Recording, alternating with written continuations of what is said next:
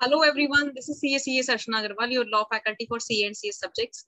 So guys, अभी तक हमने चैप्टर नंबर 12 तक रिवीजन कर लिया है एसबीसी सब्जेक्ट का। आज हम करने वाले हैं chapter number 13 which is various initial registration and licences इसके नोट्स आपको मेरे टेलीग्राम चैनल पे मिल जाएँगे।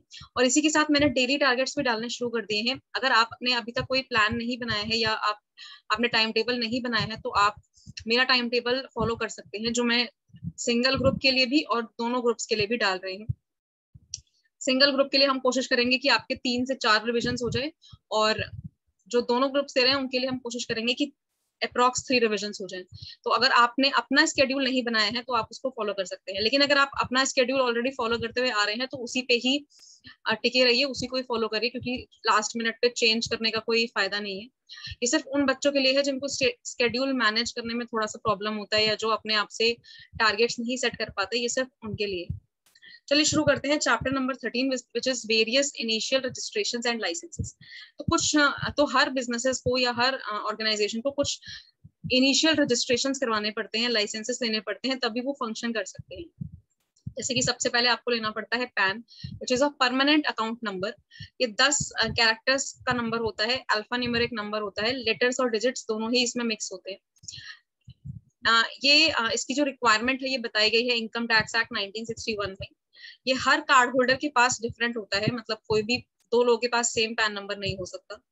ये रिक्वायर्ड होता है फॉर इंडिविजुअल्स पार्टनरशिप्स कंपनीज़ इनको रिक्वायर्ड होता है। तो it is a ten digit ten character alphanumeric number इसमें लेटर्स भी हो सकते हैं डिजिट्स भी हो सकते हैं। इनकम टैक्स एक्ट 1961 में इसे मैंडेटरी किया गया है। ये यूनिक रहता है हर कार्ड होल्डर के लिए और it is required for every individual partnerships and companies her corporate body जो बिज़नेस कर रही है इंडिया में, उसको पैन की ज़रूरत है। जैसे कि उसको पैन लेना ही पड़ता है। जैसे कि body corporate trust companies corporation firms other than L Ps OPC that is one person company limited liability company L L P firm hedge fund sole proprietorship and foreign institutional investors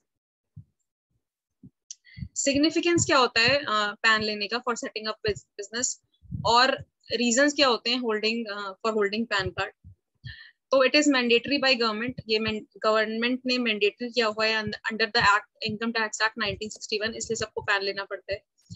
अगर आपके पास pan नहीं है या किसी business के पास pan नहीं है तो गवर्नमेंट चार्ज करेगी tax at the rate highest percent जो है thirty percent of total invoice payment इससे आप फाइनेंशियल ट्रांजेक्शन को ट्रैक कर सकते हो। अगर बिजनेसेस आउटसाइड इंडिया है तो कंपनी को पे करना पड़ता है टैक्स अदरवाइज़ गवर्नमेंट मैंडेट कर देती है कि हाईएस्ट टैक्स रेट पे जो है वो ही डिडक्ट होगा टैक्स इसलिए अगर आप पैन कोड कर देते हैं तो उसी रेट पे होता है जो रिक्वायर्ड होता है। ये हेल्प करता है इनवॉइसेस को etcetera and income tax return को ट्रैक करने में और उसको uh, सही से उसमें ये बताने में कि कौन से इसमें टैक्सेस लगेंगे या टैक्स रेट्स लगेंगे। Company required to provide their tax registration number to who uh, to whomever paying them company can hold TRN only if it has PAN अगर कंपनी के पास पैन है तो ही वो टीआरएन होल्ड कर सकती है। पैन अप्लाई करने के लिए पहले फ़िज़िकल फॉर्म्स की ज़रूरत पड़ती थी पर अब ऑनलाइन भी अप्लाई किया जा सकता है।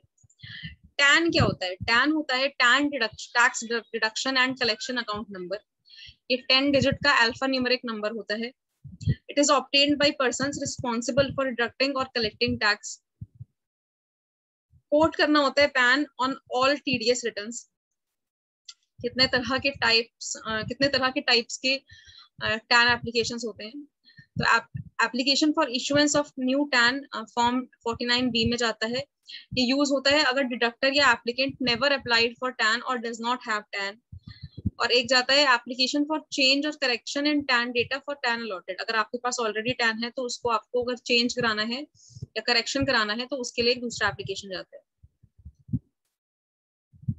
क्या प्रोसीजर रहता है अप्लाई करने के लिए? थ्रू वेबसाइट कर सकते हैं या फिर फिजिकली भी सबमिट कर सकते हैं। एप्लीकेशन फ़ाइल की जाएगी बाई एनएसडीएल वो फॉरवर्ड होगी इनकम टैक्स डिपार्टमेंट को, वो इशू करेंगे टैन को, वो इंटीमेशन जाएगा फिर एनएसडीएल को, वो इशू करेंगे टैन लेटर टू एप्लीकेंट ये प्रोसीजर रहता है।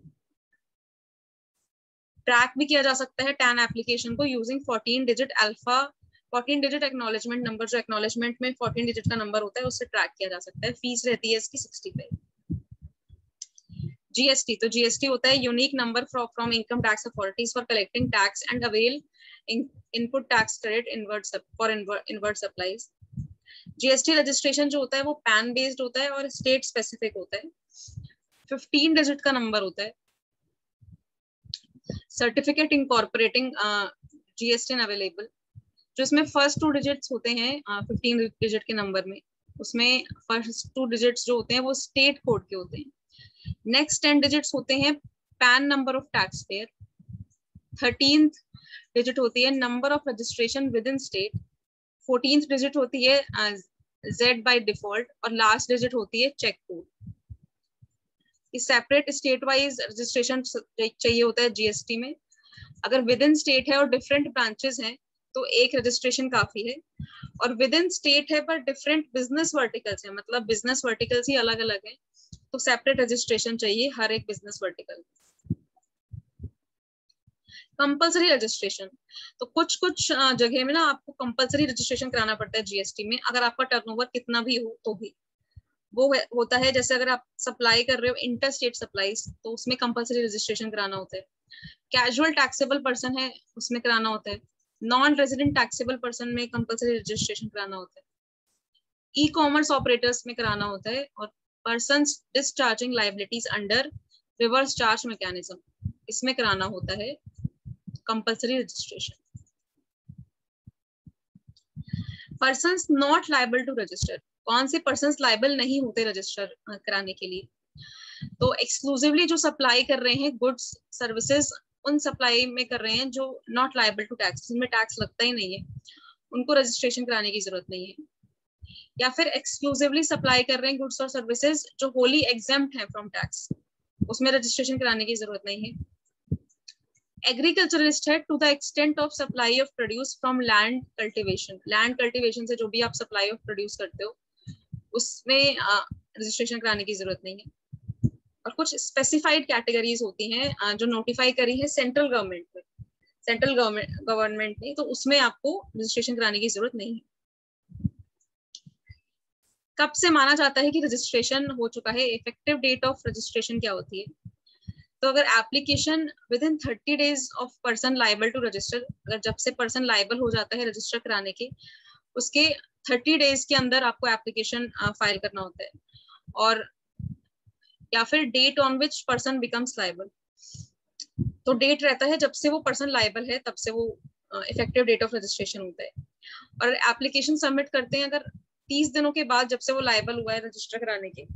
तो फिर डेट होती है इफ़ेक्टिव डेट ऑफ़ रजिस्ट्रेशन जब से रजिस्ट्रेशन ग्रांट हुआ है। रजिस्ट्रेशन आपको कराना होता है शॉप्स एंड एस्टेब्लिशमेंट्स में भी शॉप्स एंड एस्टेब्लिशमेंट एक्ट के अंदर।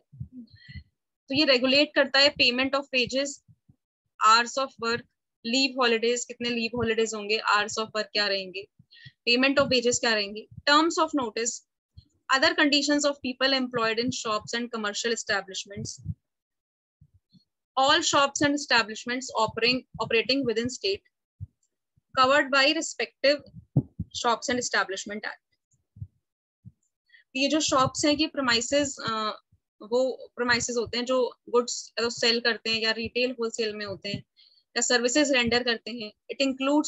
Store room warehouse godown workplace also establishments में क्या क्या आते हैं? स्टैब्लिशमेंट्स में आते हैं shop commercial establishment residential hotels restaurant eating house और थिएटर वगैरह। फैक्ट्रीज क्या होती है? फैक्ट्रीज इनमें नहीं आती है। Factories shops and establishment act में कवर नहीं होती है। तो लाइसेंस आपको अप्लाई करना होता है चीफ इंस्पेक्टर को विद इन स्पेसिफाइड टाइम जो आप एप्लीकेशन फ़ाइल करोगे, वो नेम ऑफ़ एम्प्लॉई उसमें address of establishment name of establishment category of establishment और नंबर ऑफ़ एम्प्लॉयज़ ये सब आपको मेंशन करना होता है। Registration of shops and establishment तो जो बिज़नेस ओनर है, उसको रजिस्टर कराना होता है। सबमिट करना होता है application in form to inspector within thirty days of starting shops और एस्टेब्लिशमेंट एप्लीकेशन आपको देना होता है with fees and it contains your name as employer name of manager अगर मैनेजर कोई है तो उसका नाम। पोस्टल एड्रेस शॉप का या स्टैब्लिशमेंट का क्या है, उसका वो आपको देना होता है। नेम ऑफ़ स्टैब्लिशमेंट और other particulars prescribed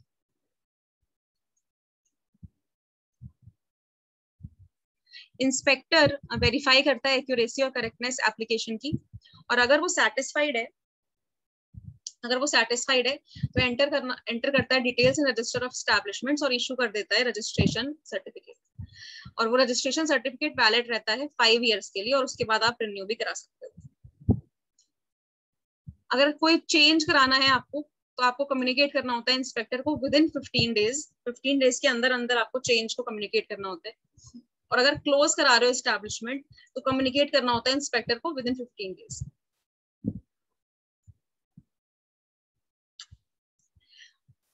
small scale industries और एमएसएमईज तो small scale industries manufacturing production on small और माइक्रो स्केल इनका जो मैन्युफैक्चरिंग और प्रोडक्शन रहता है, वो बहुत ही स्मॉल और माइक्रो स्केल पे रहता है। ये वन टाइम इन्वेस्टमेंट इसमें चाहिए होता है मशीनरी प्लांट्स इंडस्ट्रीज़ में not exceeding one crores MSME को एमएसएमई जो है, वो micro small and medium enterprises act development act के अंदर आता है।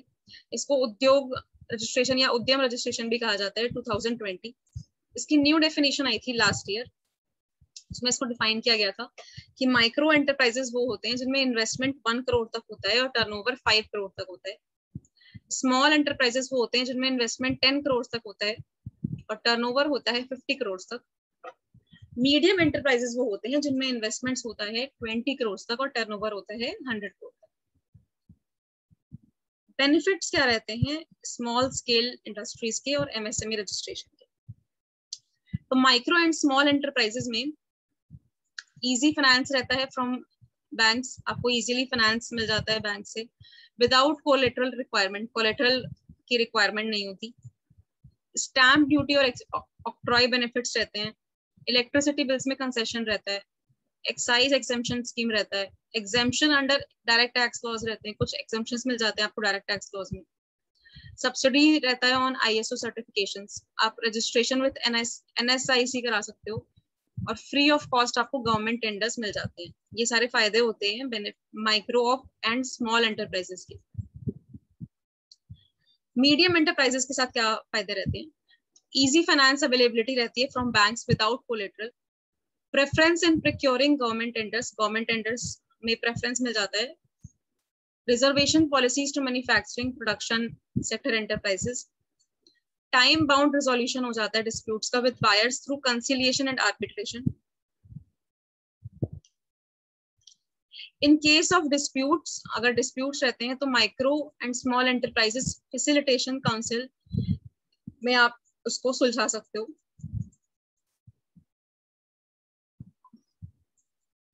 एनएसआईसी रजिस्ट्रेशन किसको कराना होता है? तो all micro and small enterprises सारी micro and small enterprises having EM part two are eligible for registration और ईएसआईसी e रजिस्ट्रेशन में किसको कराना पड़ता है? जिस, जिसमें टेन या टेन से ज़्यादा एम्प्लॉयज़ हैं। Within fifteen days of submission of form form zero one में आपको कराना होता है। डॉक्यूमेंट्स कौन से चाहिए होते हैं? तो documents about establishment of company list of partners, stakeholders, directors with proof of address, copy of PAN, identity proof, uh, voter ID, passport, list of employees.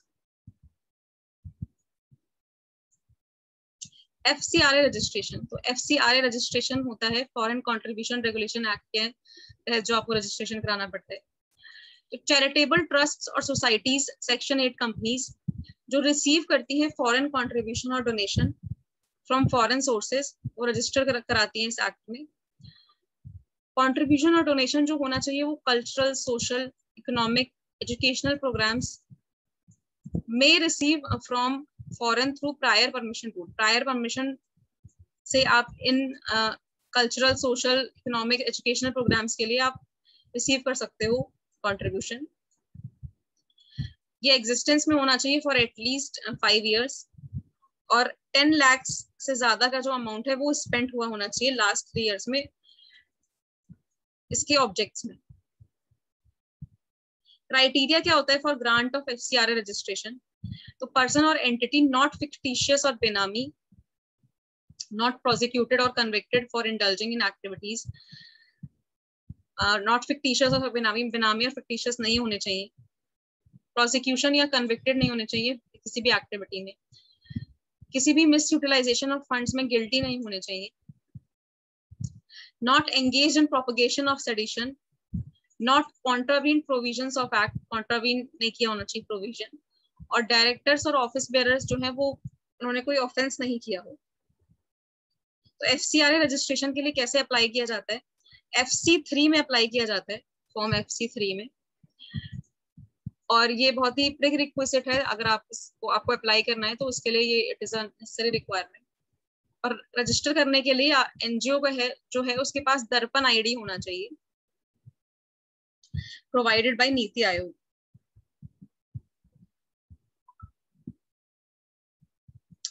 Self certified copy of registration certificate trust deed MOA AOA की copy activity report last three years के। और copy of statement of accounts ये भी आपको लगाने पड़ेंगे।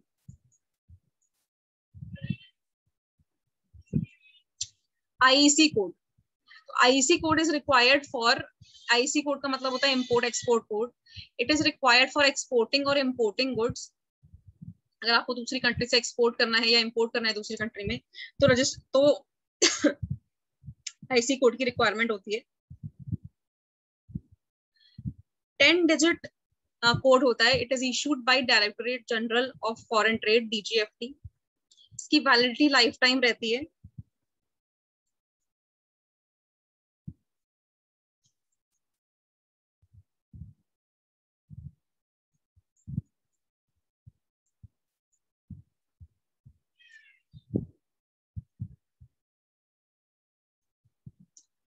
Importers जो है they are not allowed to proceed without this code अगर उन किसी को इम्पोर्ट करना है तो इस कोड के बिना वो प्रोसीड नहीं कर सकते। और जो एक्सपोर्टर्स हैं, वो बेनिफिट नहीं ले सकते एक्सपोर्ट्स का फ्रॉम डीजीएफटी कस्टम्स अगर उनके पास ये कोड नहीं है तो। अप्लाई कैसे करते हैं आईसी कोड के लिए आईसी रजिस्ट्रेशन के लिए? प्रिपेयर करते हैं एप्लीकेशन फॉर्मेट प्रिस्क्राइब प्रिस्क्राइब जिस फॉर्मेट में प्रिस्क्राइब किया गया है, उसमें प्रिपेयर करते हैं application Ayat Niryat form 2A format and filed with proper DGFT regional notice. Prepare necessary documents related to applicant identity and address proof and legal entity proof with bank details. File करना होता है DGFT with DSC fees cost of IC registration. If application approved, अगर application approved हो जाती है तो IC code soft copy grant करता है by government. Documents required for import export code registration तो कौन से डॉक्यूमेंट्स चाहिए होते हैं इम्पोर्ट एक्सपोर्ट कोड में? इंडिविजुअल पर्सन पर्सोनल कंपनी और फॉर्म पैन कार्ड कॉपी अगर पर्सनल आधार कार्ड और वोटर आईडी और पासपोर्ट कॉपी पर्सनल और और कंपनी और फॉर्म बैंक अकाउंट नंबर और इलेक्ट्रिसिटी बिल कॉपी और रेंट एग्रीमेंट और सीएलटी फीचर्स क्या होते हैं आईसी रजिस्ट्रेशन के? तो आपको इंटरनेशनल एक्सपोजर मिल जाता है। गवर्नमेंट बेनिफिट्स मिल जाते हैं। नो रिन्यूअल्स आपको कभी भी रिन्यू कराने की ज़रूरत नहीं पड़ती। एक बार अगर आपने आईसी रजिस्ट्रेशन ले लिया तो। कोई भी एनुअल कंप्लायंस करने की ज़रूरत नहीं पड़ती।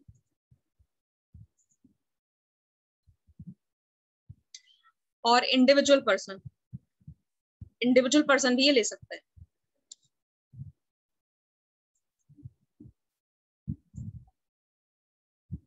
ड्रग लाइसेंस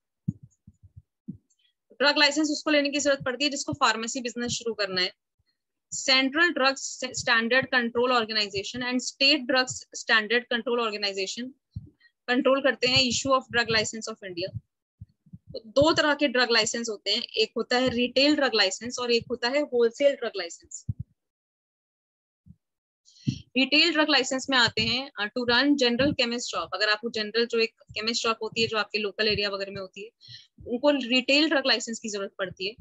और जो होलसेल ड्रग लाइसेंस होते हैं वो उनको चाहिए होता है जो uh, वो पर्सन या एजेंसीज को चाहिए होता है जो एंगेज होते हैं ड्रग्स या मेडिसिन में।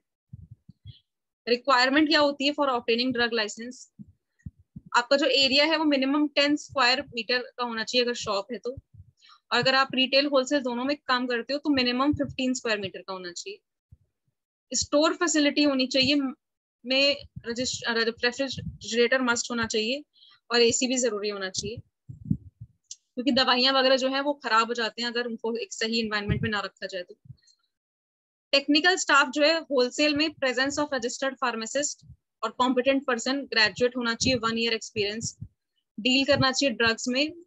और passed S S L C with fourth year experience और रिटेल में presence of registered pharmacist approved by department जो डिपार्टमेंट से अप्रूव्ड है, उस उस फार्मासिस्ट को होना चाहिए। Documents required for drug licence तो कौन से डॉक्यूमेंट्स ज़रूरी होते हैं?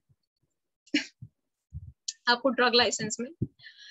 तो application form and prescribe form covering letter challan or fees deposited for obtaining drug license, basis of possession, possession of premises, proof of ownership of premises if rented, affidavit of registered pharmacist or competent person working full-time, appointment letter of registered pharmacist, competent person if employed person. FSSAI, the Foods Safety and Standard Authority of India, ये licence उनके लिए mandatory होता है जो कोई भी food business करते हैं। Manufacturers involve in food business to obtain 14 digit registration और licence number must be printed on food packages जो भी मैन्युफैक्चरर्स होते हैं फ़ूड बिज़नेस में, उनके पास 14 डिजिट रजिस्ट्रेशन नंबर या लाइसेंस नंबर होना चाहिए और वो प्रिंट भी होना चाहिए फ़ूड पैकेज पे। आप कोई भी फ़ूड आइटम लोगे मार्केट से तो आपने देखा होगा कि एक एफ़ का एक कोड नंबर या लाइसेंस नंबर होता है। तो इसका मतलब है कि उस प्रोडक्ट के मैन्युफैक्चरर ने उसको F S S A I में रजिस्ट्रेशन कराया हुआ है, क्योंकि मैंडेटरी है। F S S A I registration is required for all petty food business operators जो भी पेटी फ़ूड बिज़नेस ऑपरेटर है सबको रिक्वायर्ड होता है। Petty food business operator is manufacturer और सेल्स हु मैन्युफैक्चरर्स और सेल्स आर्टिकल फ़ूड हिमसेल्फ या फिर पेटी हॉकर हो गया रिटेलर हो गया आइटरनरी वेंडर हो गया, या टेम्पररी स्टॉल होल्डर हो गया।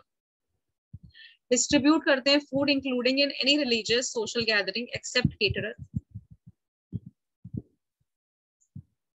other food business जिसका टर्नओवर लेस होता है 12 लाख से less than 10 lakh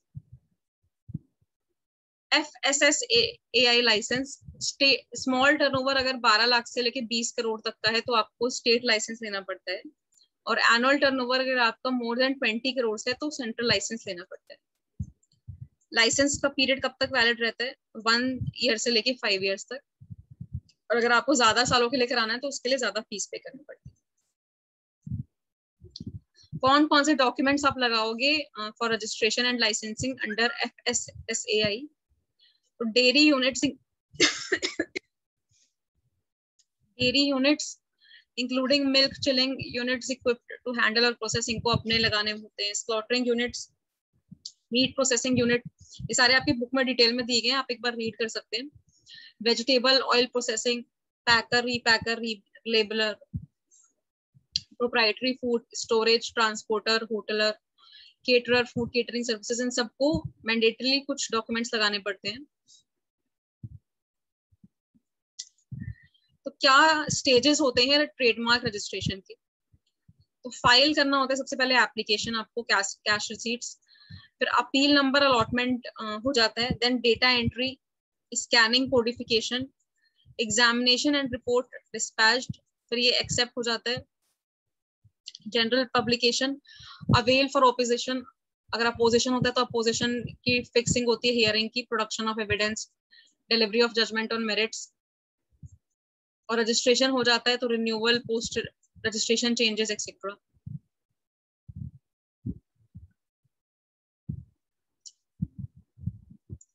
copyright copyright का जो प्रोसेस है अप्लाई करने का, वो है अप्लाई करोगे आप एप्लीकेशन में, फिर separate application for each work जो भी आपके सेपरेट वर्क्स हैं, उनके लिए आपको सेपरेट एप्लीकेशन फ़ाइल करना है। फ़ीस फ़ाइल करनी है साथ में, और साइन होना चाहिए एप्लीकेंट या फिर एडवोकेट का, जिसके फेवर में वो वकालत नामा या पावर ऑफ़ अटॉर्नी है।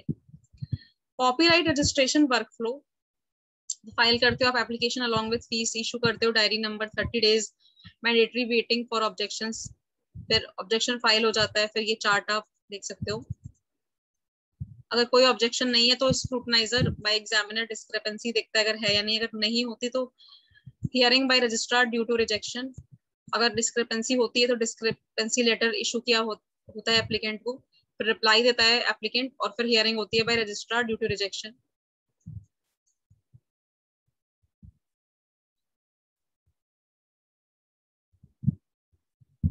requirement of NBFC licence with RBI तो आरबीआई रेगुलेट करता है और सुपरवाइज करता है NBFC into principal business of lending और acquisition of shares stocks bonds etcetera और फाइनेंशियल लीजिंग और hire purchase principal business of financing activity जो है वो companies financial assets constitute more than fifty percent of total assets and income from financial assets constitute more than fifty percent of gross income जो company fulfil करती है both criteria उसके पास NBFC का licence होना चाहिए। एनबीएफसी का जो licence है वो पॉपुलरली बोला जाता है पचास पचास fifty fifty test company engage in agricultural operation industrial activity purchase and sale of goods providing services और परचेज सेल और construction entities not required to have NBFC licence कौन सी एंटिटीज को एनबीएफसी लाइसेंस की ज़रूरत नहीं होती? तो housing finance companies regulated by national housing bank insurance companies जो रेगुलेट होती हैं by IRDAI stock broking SEBI के द्वारा रेगुलेट होती है. मर्चेंट बैंकिंग कंपनी सेबी के द्वारा रेगुलेट होती है. वेंचर कैपिटल कंपनी सेबी के द्वारा होती है रेगुलेट म्यूचुअल फंड्स यदि कंपनी इनको नहीं कराना होता रजिस्ट्रेशन क्या रिक्वायरमेंट रहती है? टू ऑप्टेन एनबीएफसी लाइसेंस तो अप्लाई करना होता है एनबीएफसी लाइसेंस के लिए। फॉलोइंग रिक्वायरमेंट्स की ज़रूरत पड़ती है। कंपनी रजिस्टर्ड होनी चाहिए इंडिया में। प्राइवेट कंपनी भी हो सकती है पब्लिक कंपनी भी हो सकती है। कंपनी के पास minimum net own fund 200 lakh का होना चाहिए। मतलब टू करोड़ तक का फंड होना चाहिए। नेट ओन फंड्स कैसे कैलकुलेट करेंगे? Based on last audited balance sheet of company और नेट ओन फंड में पेड अप इक्विटी कैपिटल आना चाहिए फ्री रिजर्व्स आना चाहिए balance in share premium account capital reserves representing surplus arising out of sale proceeds of assets, but not reserves created by revaluation of assets, वो नहीं आनी चाहिए। कितने तरह की एनबीएफसी लाइसेंस की कंपनीज़ होती हैं? एसेट फाइनेंस कंपनी होती है इंफ्रास्ट्रक्चर डेट फंड होती है investment company loan company NBFC infrastructure finance company NBFC factory और systematically important core investment company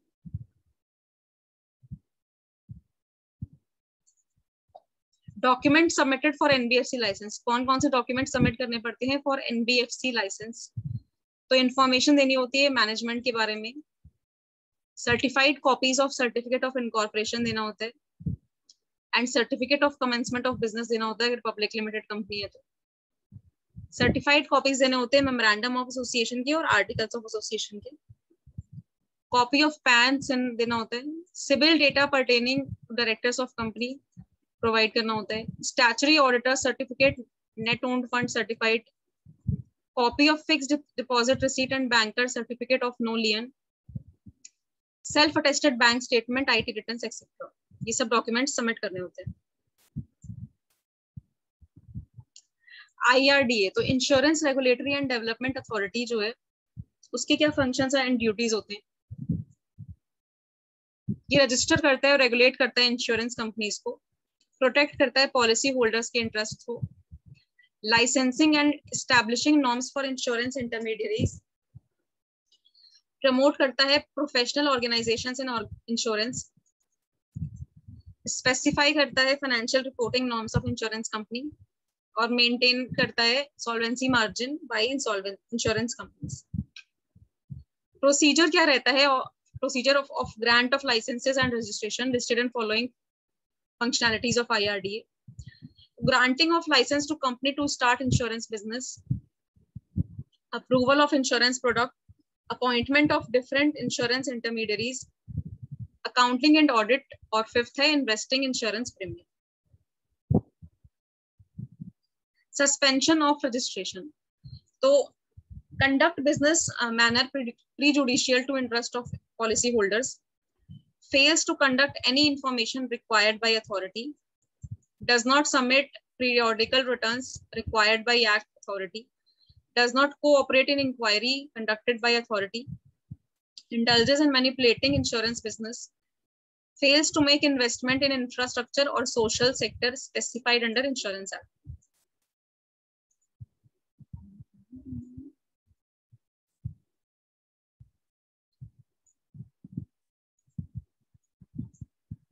Cancellation of certificate of registration तो सर्टिफिकेट ऑफ़ रजिस्ट्रेशन को कैंसिल भी किया जा सकता है। कब किया जा सकता है?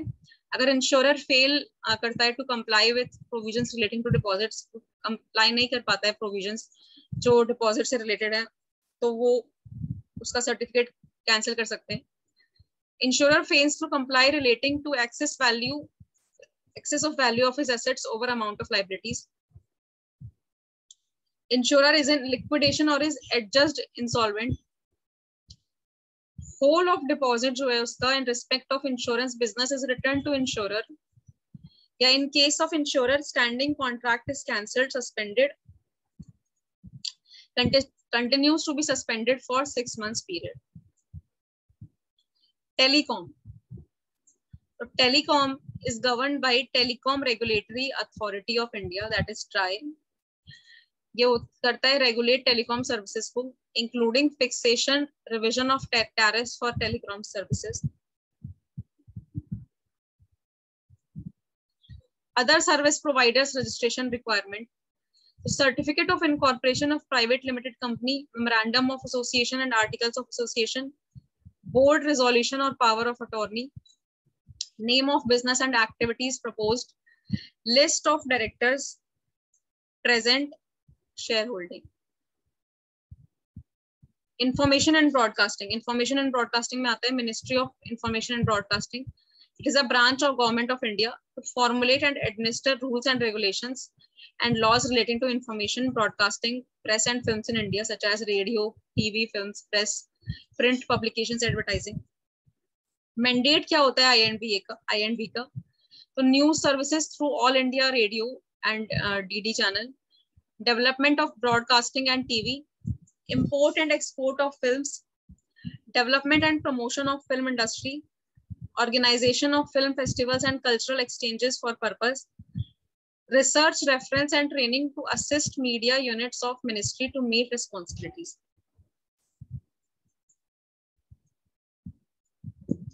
Regulatory regime of INB. Criminal Law Amendment Act 1961 regulate करता है रेगुलेटरी रिजिम में आता है आईएनबी के penal provisions for publishing wrong map of india press council act 1978 registration of newspapers rules press and registration of books act 1867 regulating and certification head under inb तो broadcasting में आता है आपका conditional access system community radio station Prasar Bharati, Doordarshan, Akash Rani direct to home information press information bureau और Indian institute of mass communication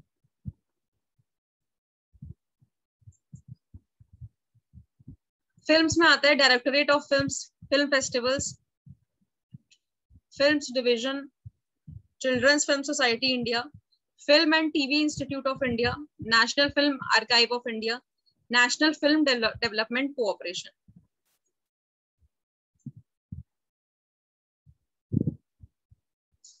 industrial licence तो industrial development and regulation act 1951 known as IDRA IDRA, entitles manufacturing sectors to observe certain formalities. Industrial license is required for industries retained under compulsory licensing manufacture of items preferred for small sector for, by larger units, and when proposed location attracts locational restriction.